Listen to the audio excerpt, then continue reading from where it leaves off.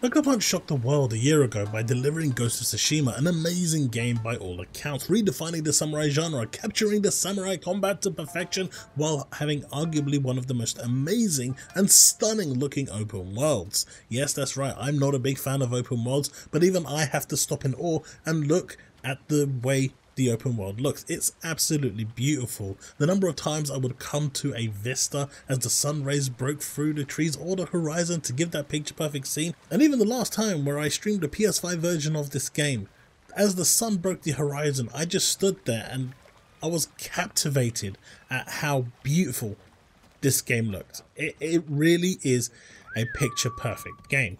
The PS5 version of the game, of course, took an already amazing looking game and have made it look even better with dynamic 4K resolution targeting 60 FPS and I'll be honest with you, not once did I notice the frame rate ever dropping. I assume this is because of the checkerboard 4K, but I can live with that. There was also a ton of enhancements from the amazing haptic feedback which I have to tell you is amazing. The adaptive triggers that work so beautifully, adding that tension you want to experience from the PS5 controller to super fast loading and I'm not joking here. The load time times were fast. You couldn't even see a loading screen. Every time I died, it was just instant. I was back. It was so quick. It was great. Even people in the chat when I was streaming this game were shocked at just how fast the loading was. They added cinematic lip syncing animations for Japanese voiceover settings as well. I did try this out. I'm I prefer the English voice acting just so I don't have to read subs. I do a lot of that when I'm watching anime, but with this game, I just want to be able to be immersed by what I'm playing and seeing, so I left it in English, so that didn't bother me, but it's good that they did it. Did they really need to go all the way to the PS5 to get that done? Probably not, but it's there anyway. To top it off, you also have the amazing 3D audio support, and let me tell you, as you're turning that camera around, the sound rotating around your head is amazing. I use the official PS5 wireless headphones and it is amazing. Just listening to all that sound happening as you're turning the camera slowly around you, you, you just get that 360 immersion that you want and it makes a big difference as you're immersing yourself into this beautifully story driven game.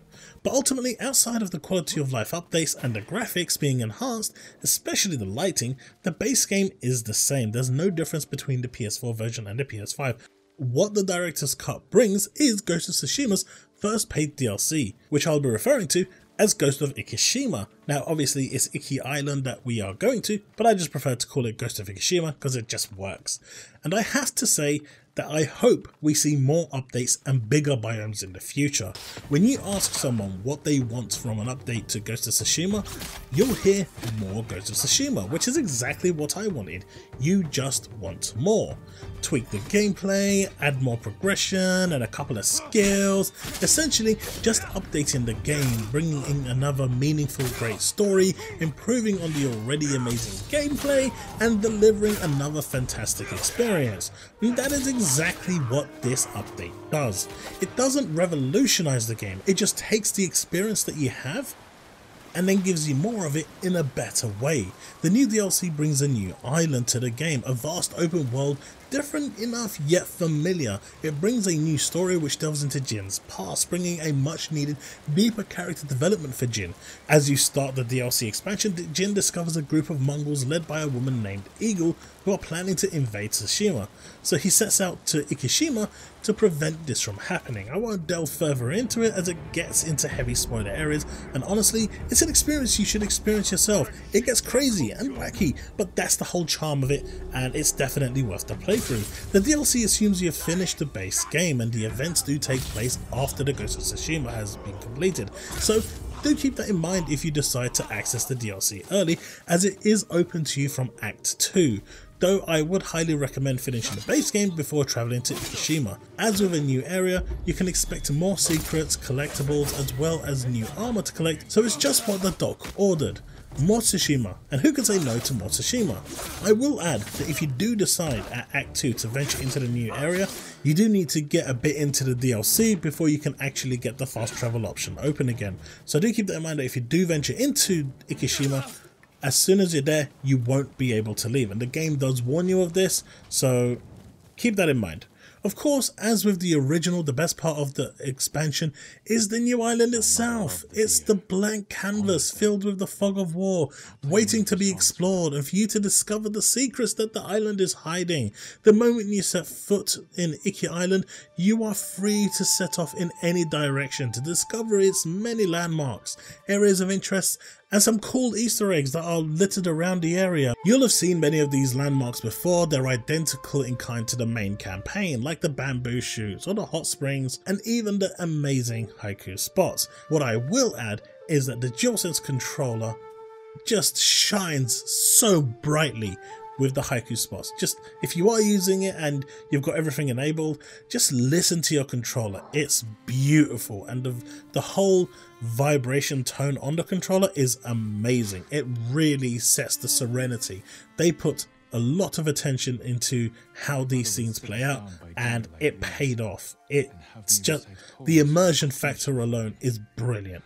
There are two new additions as well, including archery challenges and animal sanctuaries.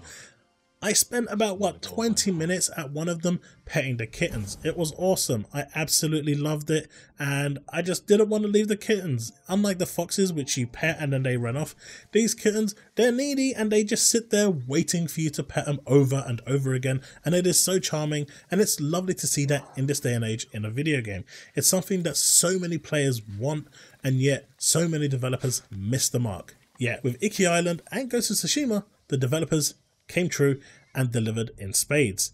You've also got playable flashbacks, which is cool because they delve into Jin's past, his background, and develop his character that bit more. You also have a handful of side quests as well as two mythic tales, which I can say are awesome and have worthwhile rewards, even if you have collected every single armor in the base game, because the perks are pretty damn sweet. And no, I won't be spoiling them to you. Iki Island adds two new enemy types, a shaman which sings, buffing nearby allies but they are also quite tankish and not weak like archers. They're annoying but you do need to deal with them because the buff they put on two enemies defensively is quite powerful. Also, they hit quite hard and they're enraged all the time, so taking him out is always going to be your first point of call. Another is a dual wielding enemy type, which switches between sword and shield and spear, forcing you to change your stance as you play mid-combat. Originally, this actually caught me off quite badly and I took a beating because of it, because I was trying to deflect or, you know, break their shield while in a wrong stance. It's nothing drastic, but it's cool to see that the enemies actively switching to defend themselves. Overall, it just adds a bit more to the challenge and keeps you on your toes. Finally, we can't end a review without talking about your trusty steed and its awesome new ability. Yes, your steed is now useful in combat and it's a great addition to the game. Again, nothing over the top, but it's just there and it's new and it's fun. As you're sprinting into enemies, holding the L1 button, you plow into enemies taking them out. It's awesome and it's super satisfying as the, the action just slows down as you just crunch through each one. Overall, Iki Island is exactly what you expect from a Ghost of Tsushima game. It's just giving you more Tsushima. The music, the serenity, the secrets, the quests, the story, it's all there. The voice acting, the tension, the character building, it's all there. Being able to dive into Jin's past and learn more about him is amazing. It's exactly what you would want from an expansion. So to conclude, the game is about 8 hours long with some exploration. There's no way anyone's gonna, you know, do a linear path straight for it, but it, you know, there may be someone out there that wants to do that. So it's shorter if you follow the main path. However, it's about 10 to 12 hours if you want 100%. I'd say a maximum of maybe about 14 hours, but 10 to 12 hours is the sweet spot I reckon if you want 100% the game. Ghost of Ikushima, the new expansion, doesn't make a giant leap over its original counterpart, but at the same time it doesn't have to. The original already set a very high bar, so all Ikushima really had to do was improve on what was already great, and Sucker Punch did just that. And if they did this with the director's cut, I'm super excited to see what they will do with Ghost of Tsushima 2 if it ever oh, materializes for next generation consoles. If you're looking for more Ghost of Tsushima action, samurai action, and combat, and story, and serenity, and secrets, and puzzles, and combat, and, and everything Ghost of Tsushima brings to the table, then this update this director's cut, with all its quality of life updates and new DLC, as well as the Legends mode that we haven't yet talked about because that is coming two months from now and it's going to have new modes, new features as well, which is going to expand the game even more than it already is, is an easy recommendation from me. And with the upgrade paths that you have of £30 to upgrade from the standard version to the director's cut version, it's a no-brainer. It's worth every penny and is an absolute easy recommendation from me. Thank you so much for watching my review of Ghost of Tsushima Director's Cut. With the promise of pears or dried melons, then lied to my father and said we'd studied all afternoon. She told me sometimes living is more important.